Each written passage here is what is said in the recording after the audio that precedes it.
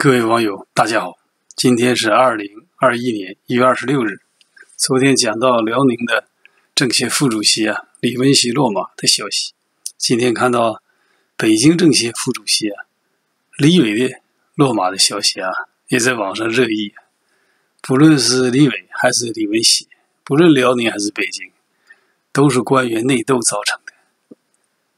那么我们知道这个十九届啊。中纪委啊，五次会议是二十四号召开的。召开它就表明什么？吹响了下一步抓捕贪官的这个冲锋号了，号角吹响了，内斗进进一步的加剧啊。那主要是新的权贵习近平派系打击其他派系呗。你像辽宁这个，明显的他是针对这个李克强，我认为啊，因为李文喜。在李克强当书记的期间，曾经是公安厅厅长啊。你想这个角色那是非常重要，也是手铐的脚镣子啊。之间有些合作，或许退了之后，这个李文喜退到这个政协，是不是还和李克强有保持联系？那更麻烦。如果那样的话，那么今天看到海外的看中国网站也披露了一些消息啊，说是这个七十一岁的李文喜啊。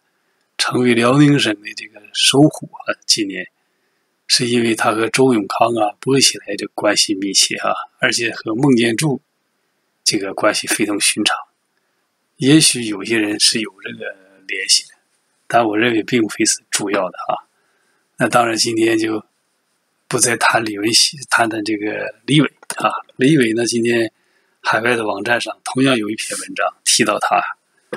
那么为什么在这个时候抓政协副主席呢？那就是因为马上要开人大了，人大政协再过几天就要开了，三月份开的时候肯定要通过一些议案，通过一些人事决定。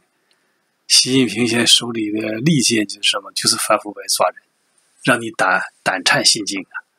你必须听我的，我想通过什么文件就通过什么文件，人大也好，政协也好，不能提批评，都得举双手赞成，赞成你。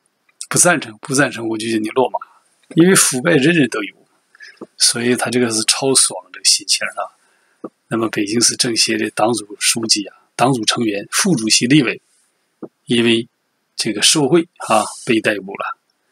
那么他长期担任这个原北京市委副书记、政法委书记、市长王安顺的大秘，你看这个内幕也出来了。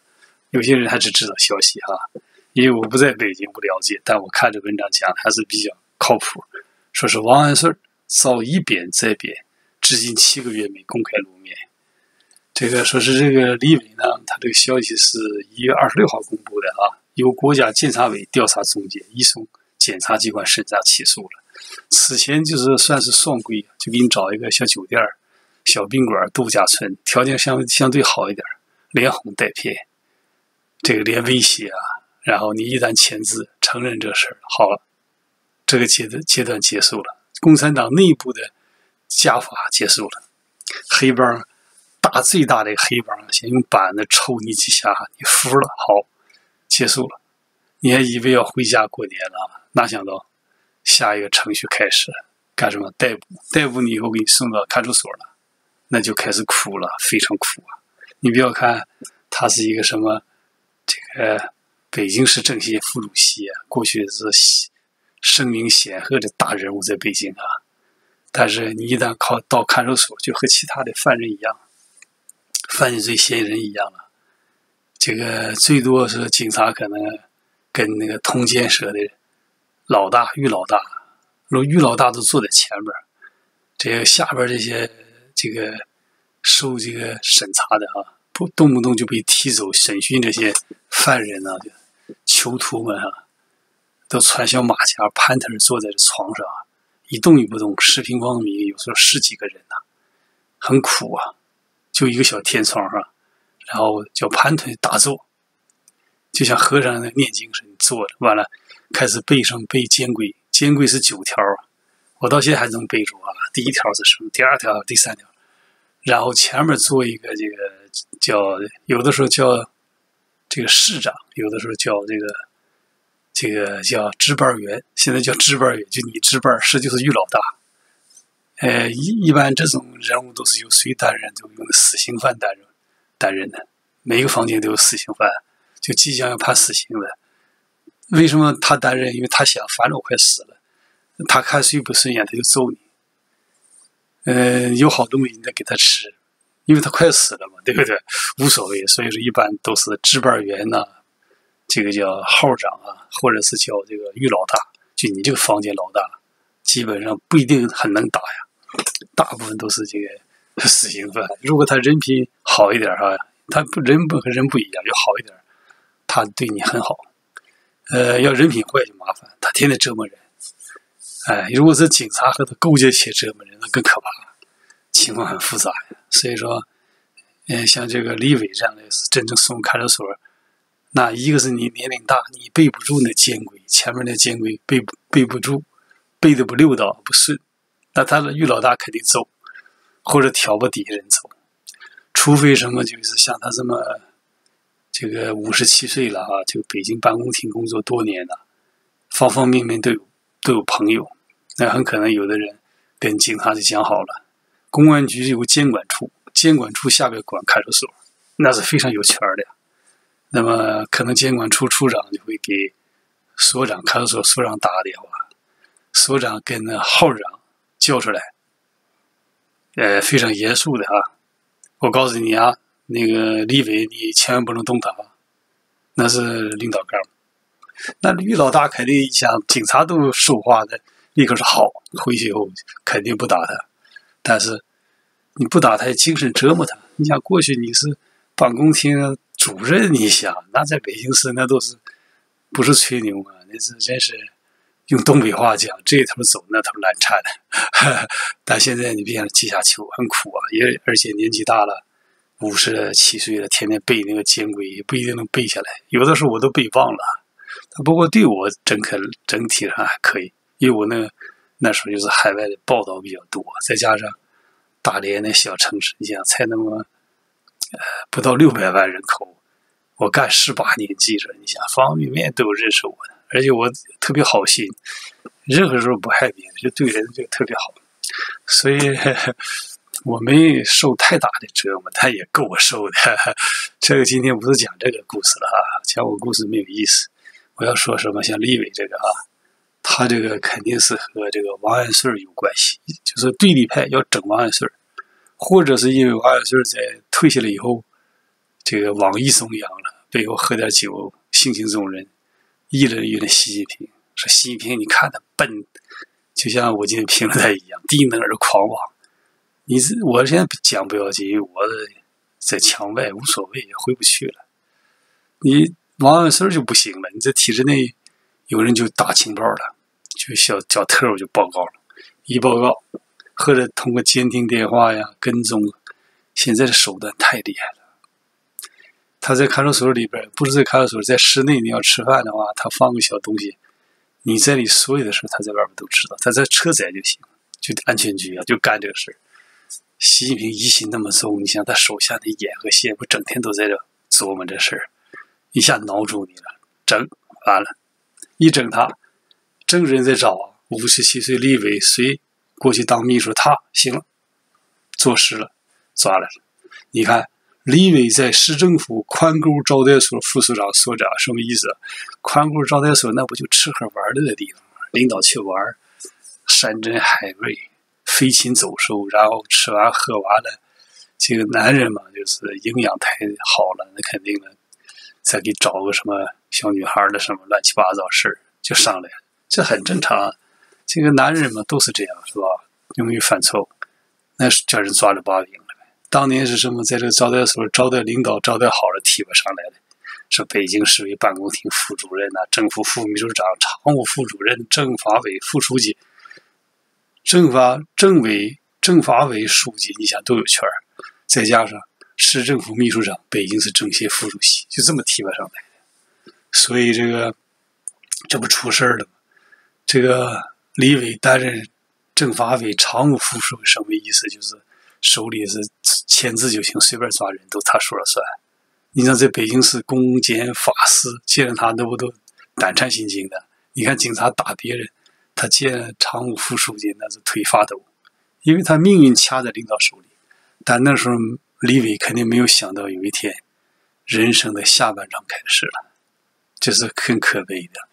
好多都是这样。那孙立军不是整天整别人，现在在里边也在盘腿坐背监规，你不背不背，就用东北话讲，就老大就削你，狠狠削你。所以说，这个共产党这些干部，共产党使用这干部啊，真是太就不非人道、反人类的。纵容你的时候，什么权利都给你。你看他当这些官常务副主任、政法委副书记、秘书长、办公厅主任，这个宽沟招待所所副所长。那个招待所，你想有的是钱，哪个企业老板来了，为了巴结领导，说老刘怎么样，赞助点行，要多少十万，牛又拧腚牛腚上。牛屁股上拽一根毛就给你够你吃的，天天吃吧，什么都有，什么熊掌嘛，我太了解这个国内这一套东西了，所以一看我就看明白了，这下完了，说是八月二十五号就是被调查，十月十五号就免去了副主席的职务，政协撤销政协委员资格，这个就领导一句话呗，你把立委那撤了，马上就撤了，就说明他们要肯定要整这个王安顺。然后就把那个他捎带出来了。至于说二零二一年一月十一号算开之后，共产党发布那个公告都一样，你看内容全是一样，不外乎什么丧失政治理想、违背初心使命、不按规定报道个人事项，这是证明他有亲友移民海外了，没告诉领导，老婆和孩子加拿大、美国跑了，钱也转走了，这个接受宴请，这个算什么？这纯是挑毛病，哪个不接受宴请？你记得请别人，别人得请你。这国内就这么一个礼节，这个事儿不应该算算腐败。一提这个事儿，致命是内斗。不然，实在找不着事儿，干脆你吃饭的事儿你加上他了，一一全都加上去。一顿饭算一千，一年算多少？你看，违规接受礼品礼金，这也是瞎扯淡。哪个不收礼？哪个不送礼？你不送礼，人能给你办事吗？对吧？你送就送茅台，还要生正宗茅台，对不对？还有从事盈利活动，都是这样。自己的亲友办个小公司，搂钱呗，对不对？拥有非上市公司股份，你看这没上市之前，完你就从企业那个股份，等它上市，你不就跳上来了，翻好多倍。比如说马云这个，你马云老马给你一个股票，给你个十万股，或者让你买十万股。完了，等一上市，A 市、B 市一上市，你不就翻多少倍吗？这本身是一种贿赂，当官不能拿，对不对？这不就说了吗？干预伪劣呀！但是这里没讲这个权色交易还行，证明李伟没叫人找到女朋友的事儿，是不是？我估计这个事儿可能搞不好也有啊，对不对？说后来是李伟这个有李伟的这个保护伞，就王安顺后来。担任国务院发展中心副主任，去年六月二号露面以后，至今七个月没有公开亮相，那就等于抓起来了，把给软禁起来了。你交代你都有什么事儿？什么什么事儿？你检举揭发？你不揭发，自己有可能判死刑啊！你这个问题极其严重，据我们掌握也是好多亿啊。完了，那一会儿就来了，我又认识你的什么朋友？我又认识你太太，又认识你孩子，我们是为了挽救你呀。都是朋友托我告诉你，赶快坦白吧，坦白就没事了。尤其是现在快过年了，过年就可以回家了。这一片傻了，开始坦白，就李伟坦白出来。说李伟给我送过钱，送了多少？送了二十万。哪一年就开始想啊？签完字以为要放，第二天完了，一下送检察院去了，逮捕了。送检察院就逮捕了。检察院也是习近平他们新的权贵一伙的，都是。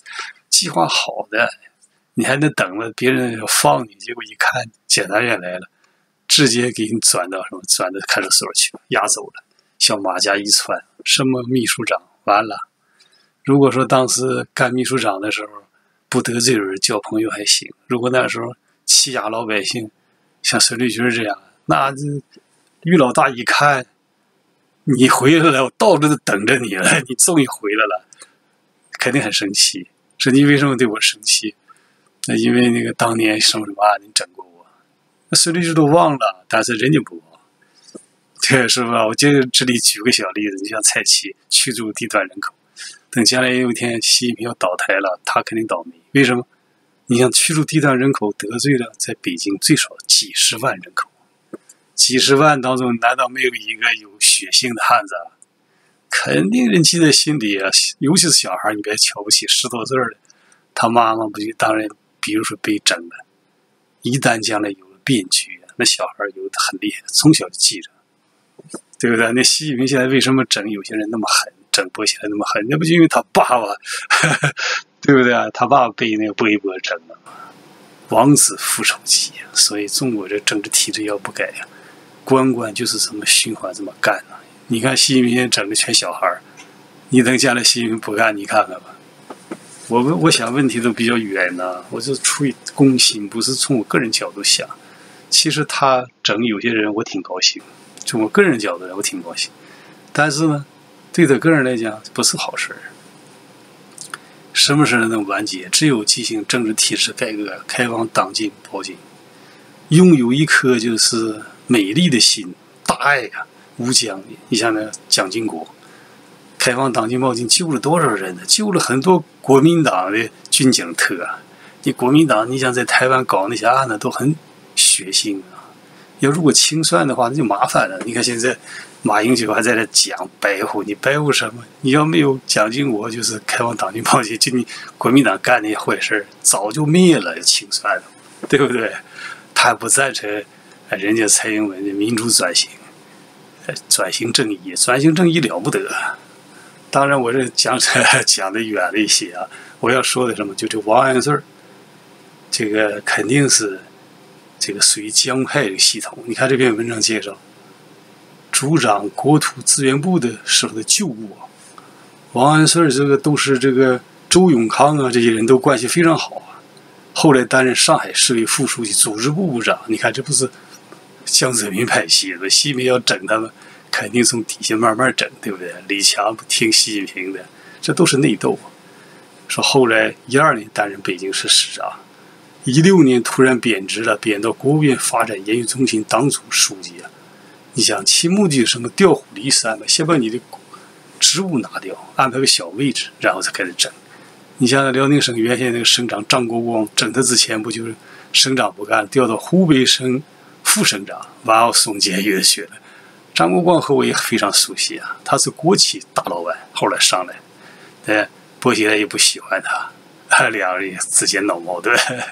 这个吧，我估估计可能现在放了。这个张国光可能在家里也看那些海外网站，也是看到这些消息。哎，老家还讲到我呢，肯定也挺高兴的。这共产党的官员呢，下去以后出了事以后啊，他对我们这些艺人士印象都好。人都是此一时彼一时，挨整的时候，你就开始怀念言论自由了，对不对？怀念言论自由，你就会对我们有一份理解，一份温情。但是晚了，权力没有了，能干啥？啥也不是，对不对？所以说，在位的领导干部一定要看海外这些报道，才知道怎样把握自己，做一个伟大的人。习近平。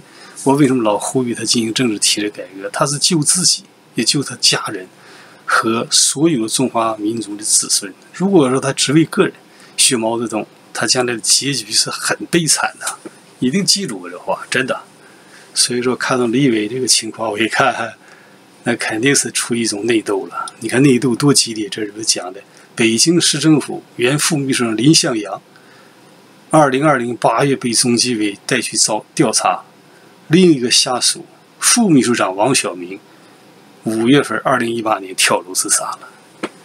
你想多惨呐！人呢？你想人这个生命都是鲜活的生命。你说他，我认为他很值得同情。憎恶的应该是什么？专制集权统治，就权力太集中了，一党独大，一人独裁，什么事都一个人说了算，很容易犯错误。就别吹牛，包括我们自己在内。给我们那么大的权利，百分之百我们是腐败分子，真的。所以为什么我一直在呼吁，都是为了大家好啊。所以你看这个王晓明自杀之后，组织上怎么说的？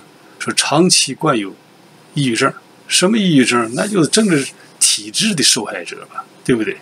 说过去几年呢，这个北京市多名领导落马了，副书记吕锡文，常务副市长李世祥。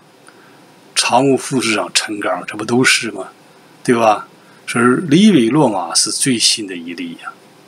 很值得三思。那么今天的海外奇谈节目到此结束，非常感谢广大网友的收看，谢谢再见。